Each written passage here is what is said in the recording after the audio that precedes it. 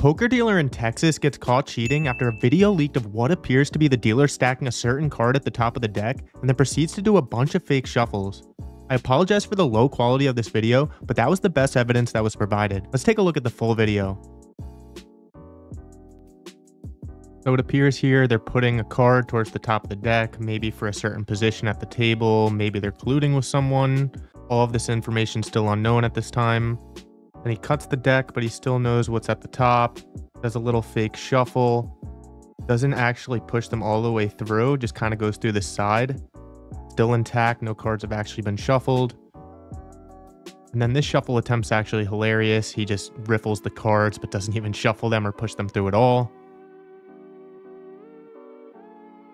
This time he does another push through through the side, but nothing's actually being shuffled. He's keeping them intact once again. Puts the bottom there. Takes the same top that has that card planted. And feel free to rewatch that if you missed it. it. Becomes really clear the more you watch it over and over. Hours later, a second video dropped of another poker dealer in Texas doing the same thing, although this one's a bit more skilled, but still sucks enough that it's very noticeable that they aren't really shuffling the cards and just pushing them through. Sean Deeb was the one to address this issue on Twitter, and the aftermath is still unfolding. The original version of this video was very low quality, but it was sent to Sean Deeb, who honestly was probably the perfect person to send this to because he has a huge following in the poker community, and people will definitely listen to him. So he posted the video, which got 173,000 impressions, and he said, Got a pretty disgusting video from a player down here about the Legend Poker Room down in Houston. Seems there was a few mechanic dealers down there. It's not the best quality video, but when you see it, you won't unsee it. Dealer isn't actually shuffling the cards, he's separating them back to how he wants them. He eventually followed up with a better quality video and said, I got a better quality video. I have spoken to a floor person of Legends who confirmed multiple dealers were fired for messing with the decks in the past month. I'm disappointed that no players were caught and the dealers were not prosecuted or outed so they can go do it somewhere else. Now here's the other video I was referring to where the dealer's a bit more skilled. It's a bit harder to see this time, he's a lot quicker. Sean Deeb even said the same thing. He said, another video, def a diff dealer from another Houston club. This mechanic seems a lot better and trickier. I wouldn't have noticed this at the table at all. And I agree. This would have been really hard for me to catch. I would have never noticed this. That's scary. Chance Kornuth made a mental game post saying, Do you get mad at the weather? Then stop getting mad when you take a bad beat. It's out of your control. And Sean Deeb said, I think in some Texas rooms you could be mad at someone else when you take bad beat slash cooler. Vincent Robinson on Twitter said, Curious why they didn't release the names of the dealers so that they'd be blackballed from working as a dealer in the future. Also curious why they didn't ban any players with the dealers. Not hard to check cameras to see which players are overlapping slash winning when they fall shuffle. Deeb responded, Those are my issues with this as well. Seems like such bad oversight to not do any of that stuff. This has been an interesting past couple years for poker to say the least. There's been several cheating scandals, none more famous than the Garrett Robbi hand, where Robbi made an insane hero call with Jack 4 and beat Garrett in a $269,000 pot, where he had 8-7 of clubs for a huge semi-bluff. And you'll see his reaction shortly, and it's the moment he realizes he thinks he's been cheated. It's been all fun and games for him up to this point, especially as they run out multiple boards. He thinks she just has a better hand. He's being a good sport about it so far. Look at the look on his face.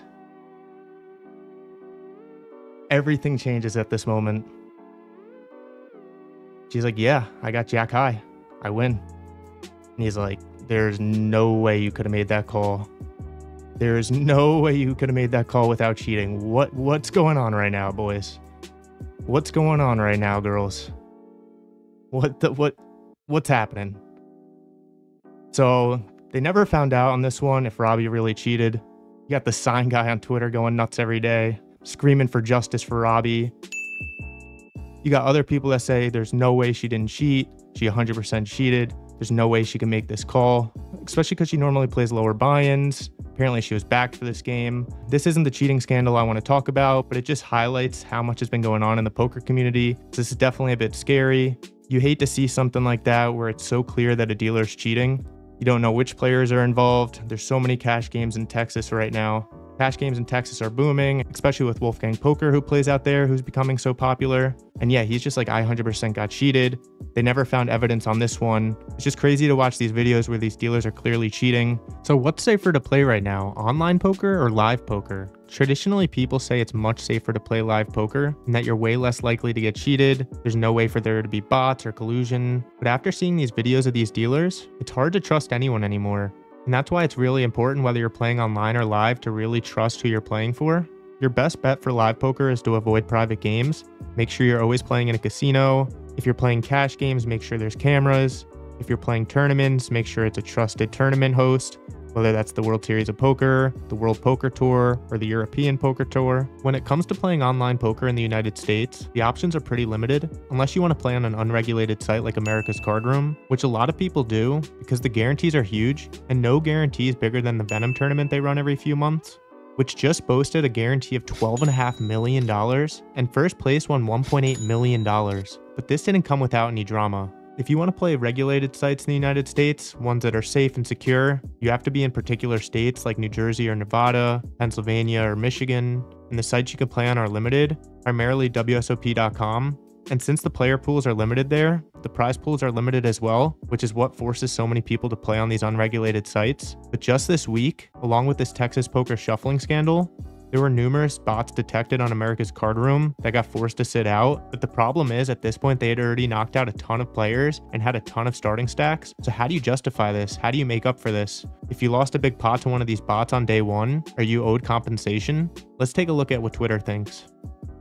So the account on Twitter that called out these bots and brought them to the attention of America's Card Room is MTT Database Review, and according to them, they called out these bots well before ACR banned them. The first tweet they sent out on the subject was, second largest stack in day two of the Venom is a bot, bot that I reported to ACR over a month ago, including directly to head of security and to WPN CEO. And WPN CEO is Phil Nagy, bot that I reported together with another 50 MTT bots, out of which a majority are still active. And if we take a look at the screenshot, the bot he's calling out was Withia, who at the start of day two was just sitting out and just sat out all day and they made a deep run. This structure is really good, so they just withered away very slowly and ended up going really far in the tournament. Baruzzi, a high stakes regular and former content creator, said, Wait a second, I lost to this count on the last hand of the day. How are you sure it's a bot? And he posted this clip before he heard this news. He said, How does someone bag chip lead? 300 big blind pot for monster chip lead. Always playing the biggest pot. Mama didn't raise no blank. Seems like his, her mom didn't either. At least I still made day two. And here's the hand Baruzzi's talking about. Against Withia the bot.